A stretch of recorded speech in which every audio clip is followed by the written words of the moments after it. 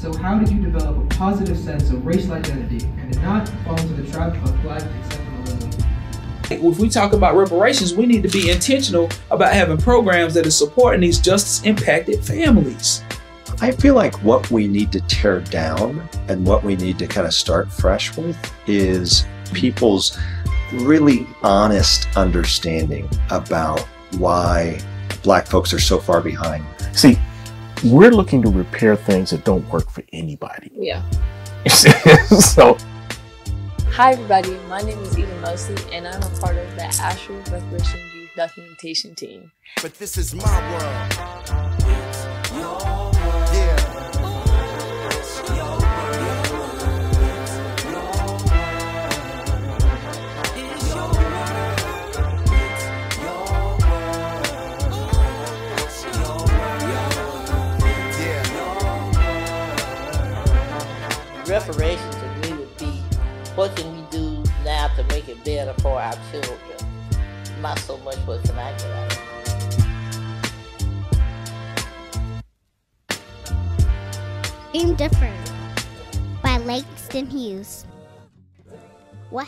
A dream?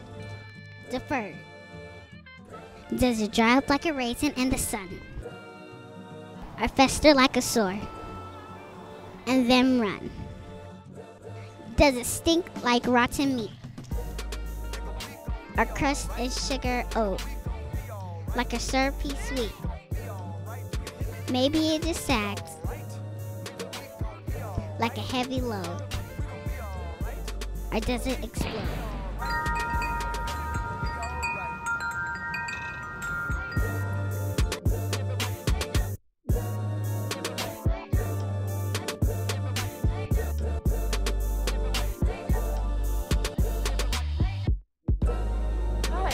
Name is Eden Mosley, and I'm sitting here with DeWayne Barton. Uh, would you mind giving us a little mini introduction about yourself and what you do within the community? Uh, my name is DeWayne Barton. I'm a social entrepreneur, and I focus on um, creating spaces that support people. So I know that you serve on the Reparations Commission Board. How do you feel that that process is going so far? I think it's a very ambitious process. Uh, I think it's a lot of moving parts to it. It's, um, it's a lot of work that has to be done to make it successful, and I think we just got to keep hustling and make it real. Um, so how many so far? Wait, can you remind me what date that the commission board like started meeting? Right. I wouldn't remember Uh, that. Oh, okay, sorry. um, so like, do you feel like the process, like from when it started to now, do you feel like there is some movement going, or do you feel like it's pretty stagnant? I think what we tasked to do is is like fighting King Kong and Godzilla at the same time, and that more preparation should have been done to prepare the commission members to take on this um, this tremendous task. Mhm. And, and I think we're trying to figure it out.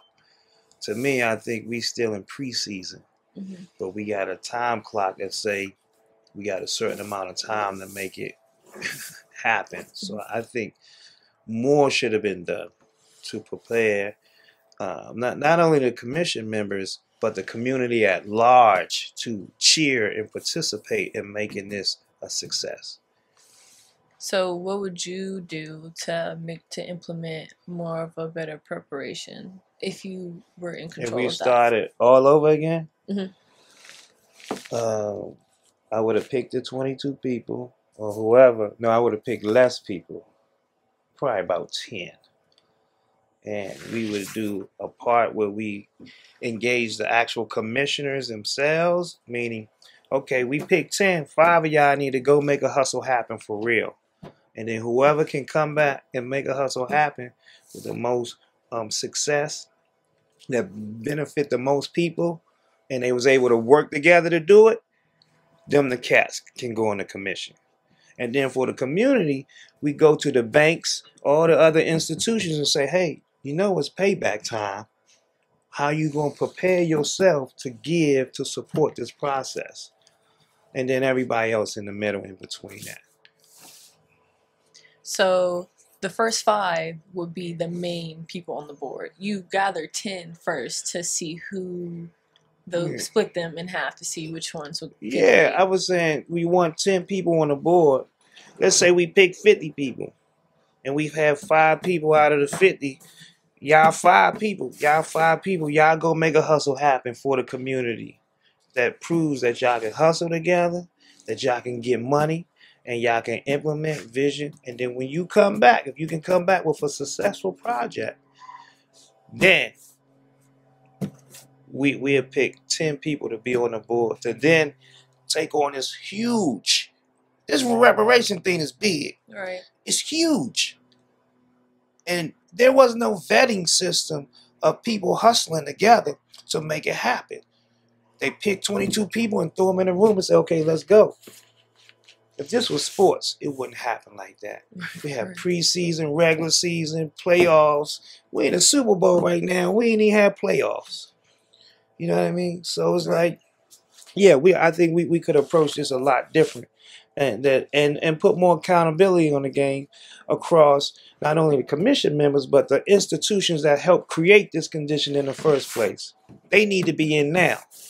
They need to be supported in some form or fashion or starting to design their framework on how they are going to support the project. For example banks. Mhm. they need to get ready. Right.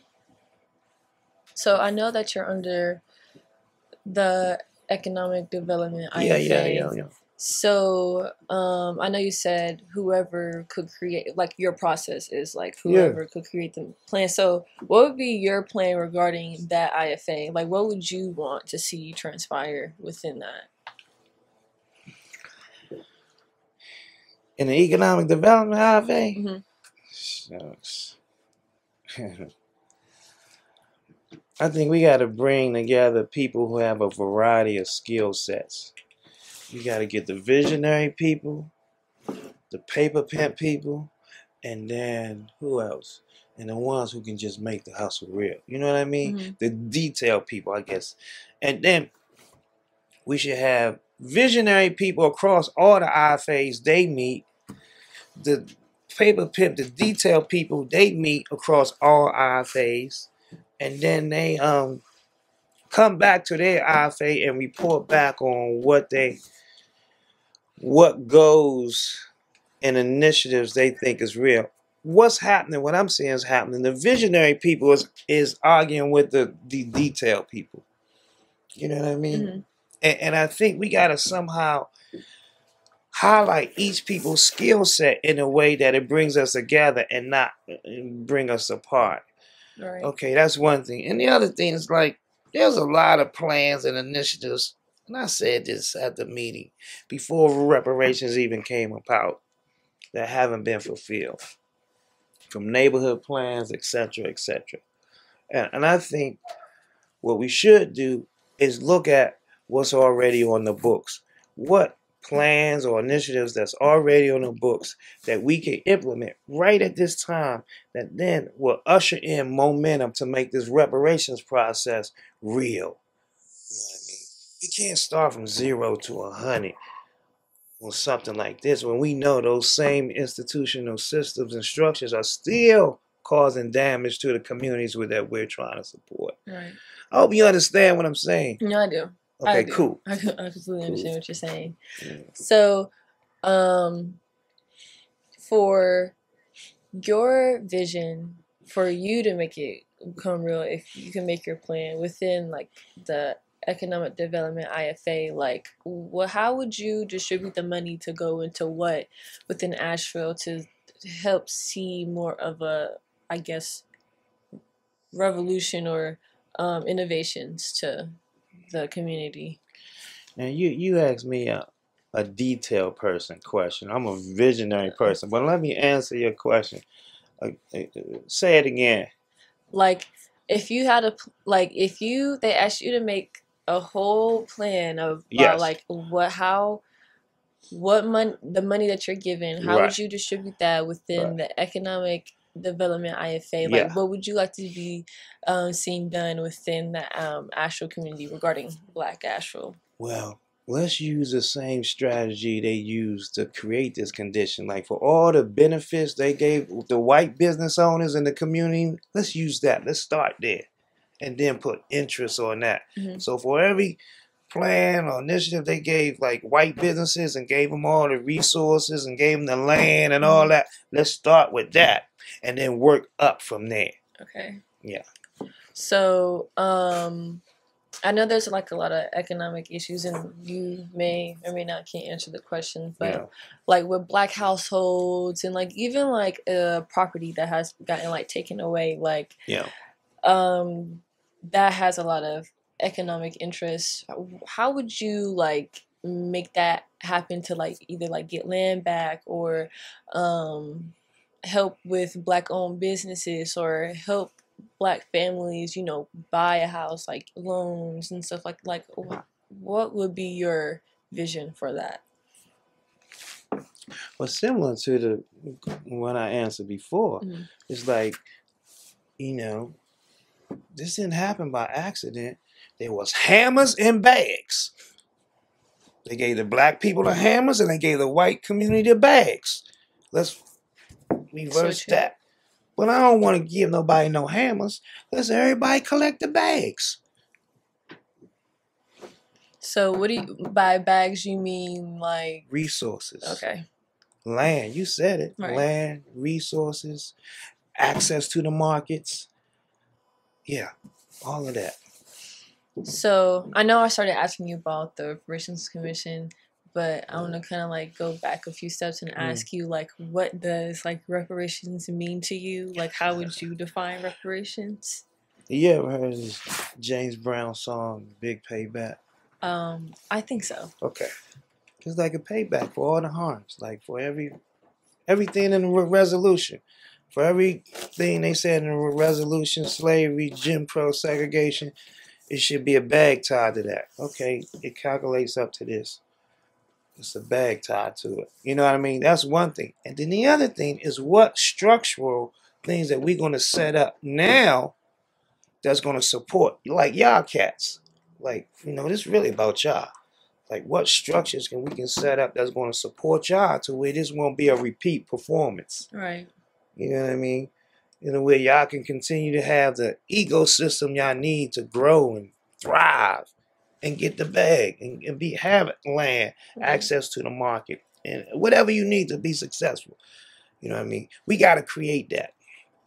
And we still got to deal with the the system, the momentum, the system, and the momentum of the system that's been dropping hammers and bags for a very long time. Right. So I do know, like with you said, combating the system. Um, because giving money, you can give money, and you can still be in the system like we have now, and it can still be a loop or a cycle. Like regarding reform, like would you tear down what we have and build up a new system, or would you rather make reform and take some stuff out and put some stuff in? Kinda Yeah, like take the hammers out. Okay. Take the hammers out. The system is working fine. Let's just take the hammers out. Meaning the restrictions, the disenfranchisement, all of that. Take take all that, take all the hammers out and just leave the bags. Right. Some people will probably think that's like a utopia. Like it's not really realistic. Like what what would you say to that? I, I think um I think somebody if they thought that I asked my moms, I said, Moms, did you ever think based on all the hammers you had to catch when you was a young person and adult that we would your city that you was born and raised in would ever be talking about reparations? She said, nah. You know what I'm saying? Do you think all the ancestors we had posted up on the board that fought and died and whatever thought that a city right now in the US and across the country will be talking about the big payback. Nah. Now The real hustle is is how we gonna make it happen for real. Forget the what people think if it ain't gonna happen, it will it fantasy. Nah, let's make it happen. Do you think it'll happen like within like our time frame? Or What do you mean by that? like do you think that with the money being I guess that we've accumulated or having time to distribute, do you think that whatever they have working on or not even Asheville, just like the nation in general, do you Mm. think reparations like will be will we get them during our time frame? Like what do you think will happen within like next um lifespan, I guess you can say? well, I can say y- you sitting in a spot right now that it took us 20 years to build. And this out of garbage. This used to be a real rough neighborhood as we used crack pipes to 40 ounce bottles to make it happen. And we've been doing it for over 20 years. So if we can hustle together, if we can hustle together and put all our capes and on and keep our di- di- differences out of the room, maybe it happens sooner than we think. Mhm. But if we can't connect the dots on all the resources and time, talent, and treasure that, that exists within the- our communities, if we can't connect the dots and do some collaborative momentum and hustle and flow together, it's going to take a very long time. Right. But if we use what we have in a real, a real collective way, man, So I you wouldn't have imagined when I moved back here in 2001 that I'd be sitting at a table with you talking about reparations. Uh, it's up to us. Right. I wouldn't have even thought a talk about reparations would even be happening at least within like now. But I I have a feeling that mainly unity um and like solidarity is mainly your thing for like make, making sure like for this to be able to transpire. And therapy, Mm, yeah. and hot tubs, and saunas, all of that. And eating right, and praying, and all of that. It's going to take all of those things. Right. Yeah. I just have a few more questions. Yeah, yeah. They're not as um they're not really regarding well, they kind of regard reparations, but this Yeah. one doesn't. You wear green. Yeah, all the time. Would you mind telling the people why you wear green? Oh, I went green because um, this neighborhood used to be rough, and we started this green jobs training program here in this backyard back in 2008, and it was called Green Opportunities. And you know, we did that. It grew. It helped a lot of people. It was supposed to change the world. We were supposed to go over the all over the world and change it, but it didn't come out like that. Mm. And then the dream I had in my mind and vision for the place didn't, man, it didn't materialize Mm. like I had imagined Right. at that point with that organization. So when that didn't happen, I said, you know what? What's going to keep my spirit alive to never forget this vision and dream? I'm going to wear green every day until I die. I like that. Yeah.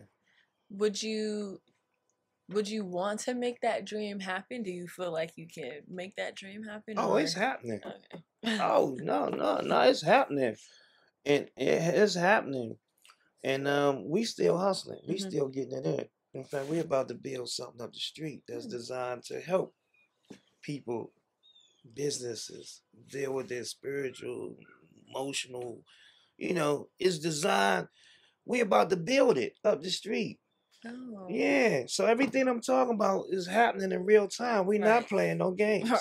and this is before reparations.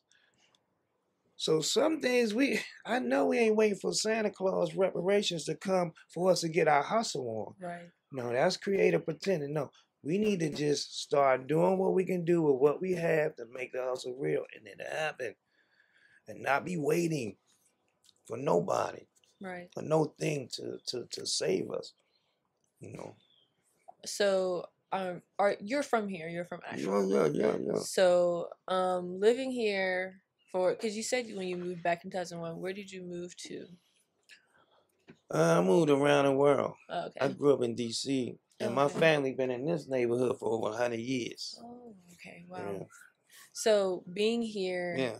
and being more up north do you see like a difference in the treatment within um like skin color regarding like race Nah. you don't a lot of people say or feel like there's like a bit of a difference between the north and south regarding um like racism or how they see skin color you know, I got a tour business, right? And what's happening here in Asheville, and I have people on my tour from DC, Chicago, these large metropolitan cities with all these African Americans. And some of them are not even where we are in Asheville about trying to pursue reparations and equity and inclusion. So it's like okay, you up north, you're in these larger cities, metropolitan cities, but what's really going on? Are y'all Right. trying to make it better for the your community? Or y'all got policies in place that you can hold people accountable to? To to make the condition of the community for the African American community real? That's a lot of work to do. You know what I mean? yeah it does take a lot of time Yeah, and effort definitely yeah. I have one last question for you. So you said your family has been here for over a hundred years. In this neighborhood. okay, in this Yeah. neighborhood. So, um, from I don't know if maybe you you probably asked like from how they viewed it before, um, how it is now. What would you say would be a difference within Asheville, like regarding the Black community? Like, do you think it was very, I guess, Oh, they was catching thriving? hammers. Okay. Oh, they was catching hammers. They was catching hammers, but they still created a way out of no way. I call it the art of resilience. They still created businesses and schools in spite of all the hammers. So that's why I'm looking at us. If we not catching as many hammers as they caught, that means our school's supposed to be balling, our businesses are supposed to be thriving. You know what I'm saying? It's our time. right? You know, what we gonna do? That's a good question for the people to answer. Yeah. But I thank thank you for thank you for your insights and answering these questions. It's really helpful yeah. because um, regarding the process, you know, sometimes as you know, being someone from the outside looking in, it's kind of like you know, where are we going with this process and like how are we moving? And so, like to see different perspectives is really helpful. So I do appreciate you and thank you for taking Yeah, time yeah, out for yeah, yeah. this interview. All right, thanks.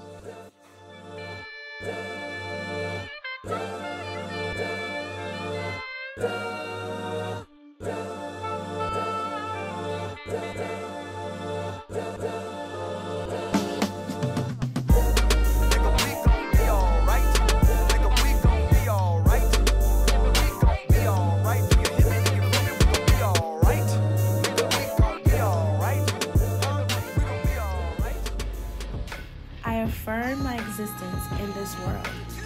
I realize I am more than my circumstances. I love the skin I am in. I have the knowledge and the ability to achieve everything I want. I won't allow racism to distract me from my greatness. I deserve to move through life with ease. I reject societal standards that don't align with me. I define black excellence because I am black excellence.